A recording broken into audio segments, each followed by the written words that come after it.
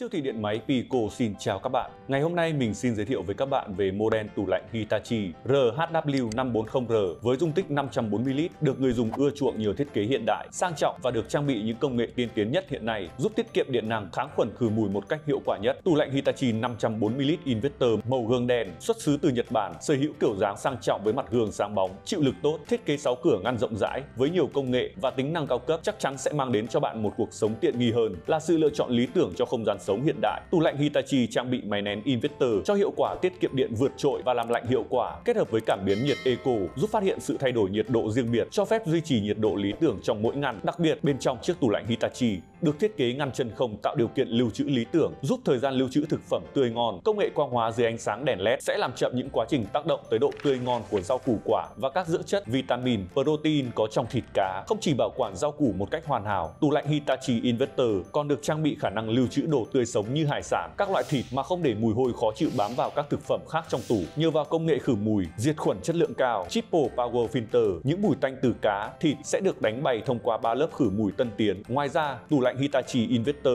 có ngăn làm đá tự động, bạn chỉ cần đổ nước đầy khay chứa, tủ sẽ tự động làm đá viên để bạn dùng cho những cốc nước giải khát mát lành.